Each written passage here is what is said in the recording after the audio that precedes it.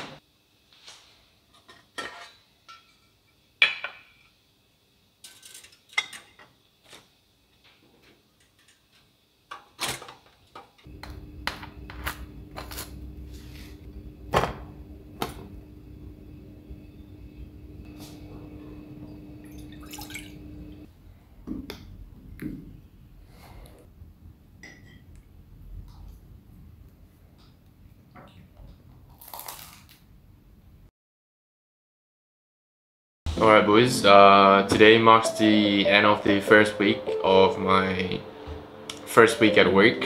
Um, yeah, so kind of want to just do like a little recap of what's been happening. Uh, I think for the first day, it was a like a general company meeting, like everyone was there. But uh, yeah, they briefed me about all the projects that they have going on. So yeah, after the meeting on Monday, they brought me into a like apartment residential kind of project and they briefed me blah blah blah. Then like on Wednesday, they brought me in on another project. It's like a big master plan for a recreational park and they want me to you know, come up with some design ideas. I only had like two days to come up with something and then show them. Yeah, I've never done that before. It's like a much shorter time frame than what I'm normally used to. You know, it was like on Wednesday and I had to show something on Friday. So yeah, I spent like two days just like racking my brain and just like working from morning till like late at night. Might just like show you guys what I've done. Like I can't tell you, I can't show you like the drawings, but maybe I can show you like sketches. I can't show you drawings because I don't think I'm legally allowed to do that. So yeah. Yeah, anyways, this uh, project is based in Miri, Sarawak. Uh, it's in Malaysia, if you don't know where that is. Let me just show you. Okay, so wait, let's go on maps. Right, it's in the Borneo, so like uh, Brunei is here, Indonesia is here, then Malaysia is this two like islands. Uh, I'm here in Kuala Lumpur in the West Island. Uh, Miri is here, you know, Sarawak is this part, and yeah, so it's here. So yeah, it's like a coastal town kind of thing, uh, which is, you know, pretty cool, pretty chill. The project is based uh, somewhere here. I feel like I'm not selling this place pretty well, but nature, let's see nature. I think it's like big for like caves and stuff. Yeah, see, there we go. Look at that. It's pretty cool. Never been myself, even though I'm Malaysian, but I guess like people don't really like um, travel their own country that much. You know, people usually just like go overseas. But yeah, they have like, you know, caves and stuff. They have like cave tours and it's always like, it looks pretty cool. So yeah, look, look at that. That's pretty cool, eh? That's pretty cool. I actually feel like going now, but coronavirus, haha.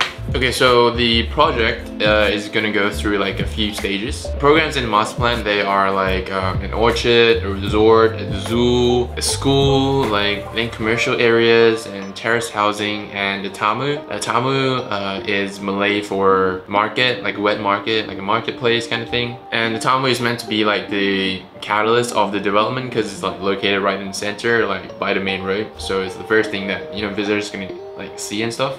It's uh, still a fairly new project. Um, we're still working on ideas and they just brought me in to you know get my input and stuff. So yeah i went through my usual routine when coming out with a design. Did all my research with the local culture and stuff. Yeah so like there's like a ton of like ethnic groups in sarawak. The main ones are like uh, Melanau, Bidayuh, Dayak, Iban, and Orang Ulu like they have their own like traditional wooden crafts and stuff. They have their own clothing. This is the warrior uh, kind of clothing and stuff. And this is like a their own like traditional weaving. And they have their own music. And they also have their own like uh, guitar kind of thing. It's called like Sape or Sape, I, I don't know how to say it. They were like famous for headhunting back in the days but the practice discontinued now. They celebrate a ton of like festivals and like rituals and stuff. And they also have like really nice like indigenous like delicacies like like a bunch of like cakes and stuff and pastries. Yeah, this one is another town that's like by the river and yeah, So yeah, from this, right, it tells me that um, we should, in the Tamu, in the market, in the building that we're designing, we should, you know, dedicate spaces for their arts and craft as well, you know, to showcase their local culture.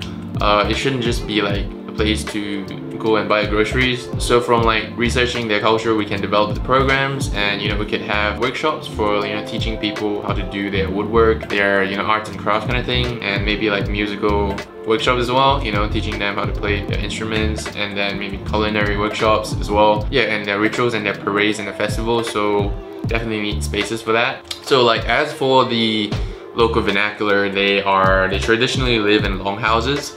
And longhouses are um, very very long houses which uh, in which like the entire village stay in it. So like they could be up to like 30 families in one house. It will look something like this. Like it will be like low rise and they're you know usually on stilts and stuff. This is like a, a section of like the interior so you have the tanju, which is like the the open veranda where, where they you know um, dry their agricultural products. Then we have the ruai, which is the living room behind the tanju. That's where they receive guests and they also like gather gather with other villagers to socialize and stuff. At the center of the longhouse, there would have the chief's uh, quarters in the middle and they will gather there in the evenings you know to chat and chill so this is what the living room of the longhouse looks like inside you know it's pretty it's like entire like a hallway kind of thing. Each tribe has their own you know this distinct style of their you know longhouse so this one's like Orang Ulu longhouse is pretty it's uh, pretty high up And we also have the Melanau tall house uh,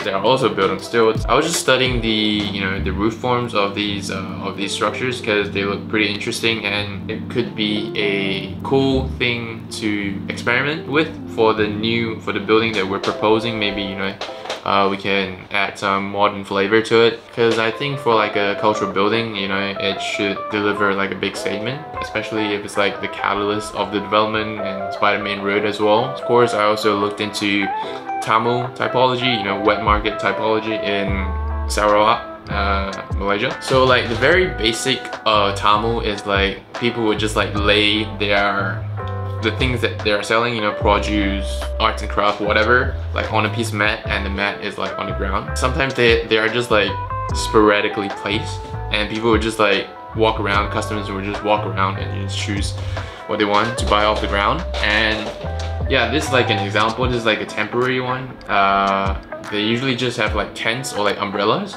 and they are set up like along the road. So um, they are taken down after you know, at night. So yeah, they're arranged in like a linear pattern with like breaks in between to get through to the other rows and stuff. So some of them are arranged in a radial, a, a, a circle kind of kind of arrangement. There's also like bigger ones, um, like with like um, a permanent structure and also permanent stalls inside. And of course, like outside, there's like temporary stalls. I also noticed that inside they have like really, really long rows of, you know, all the stalls and stuff like stretching the entire length of the compound. Yeah, this is some of the things that they sell, like clothes and food, not just, you know, not just groceries. Then you have just like massive, massive like market. Again, they're arranged in like rows as well, like really, really long rows. I think the umbrellas could be an interesting thing to have in our proposal, you know, maybe a modern take on the umbrellas, maybe scattered about. Think that would be pretty cool. So this is like a sketch of the plan. I can't give you any site information because um, that would be a breach of my contract. So all you need to know, right, is that this is like the area that we have to work with. And you know, there's like terrace housing there and school behind here and commercial areas here. And this is the main road, okay? So these are all not built yet, these are all part of the development. And yeah, the resort and the zoo and the orchard will be somewhere down here. Main entrance is to the north there. Okay, the first thing I did was to, you know, separate the volume, separate the site, and play with the forms to create like grand openings on both sides because uh, there's a road here so people can enter from the top there or the bottom here and also there's a road here connecting the com commercial area with school and then after that kind of had thought about you know if I divide it into two, I might just have like a performance kind of gathering, like a central courtyard kind of space in the middle. And then uh, for the programs, I separated the markets into the building that's that's next to the road. The market will be the busiest part of the program, so you know, kind of want to attract a crowd. Then on the other building, we can have all the other services. You know, we could have shops, uh, you know, essential shops. Then you could have the workshops here. You know, the workshops I talked about. And then we can have food stalls here. Of course, you have toilet here and logistics. You know, the market probably needs like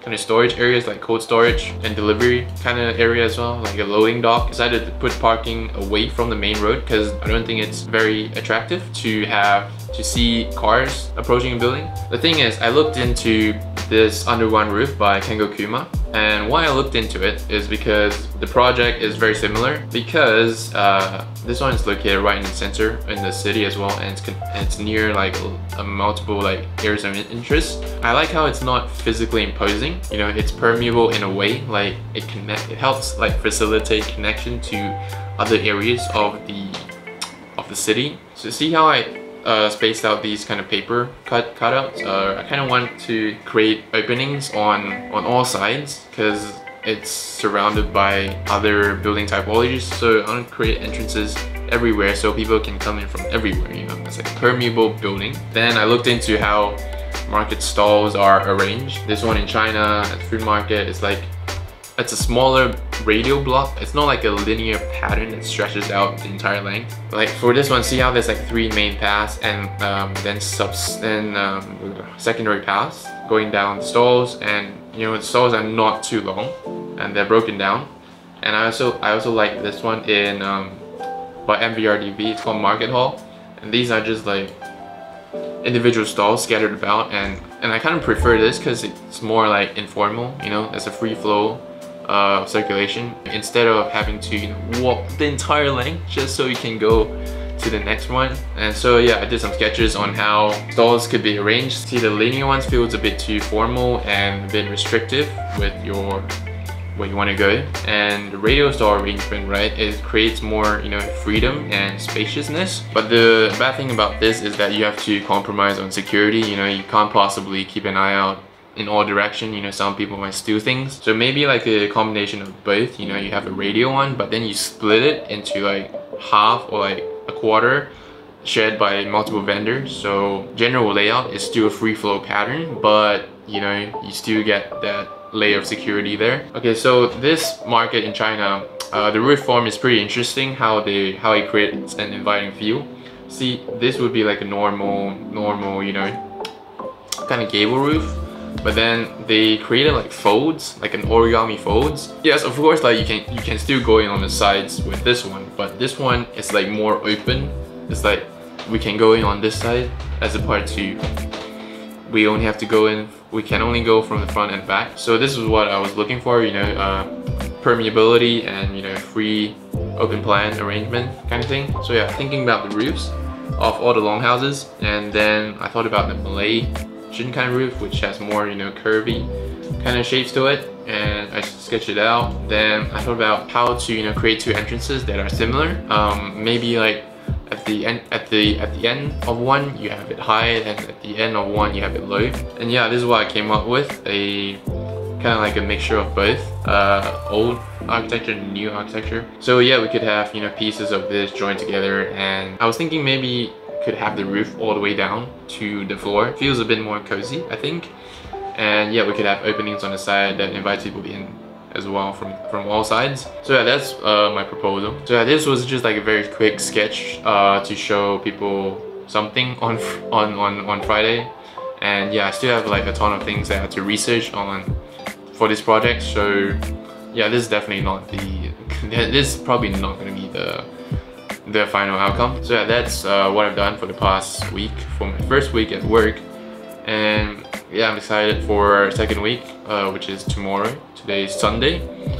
So yeah, see you guys later.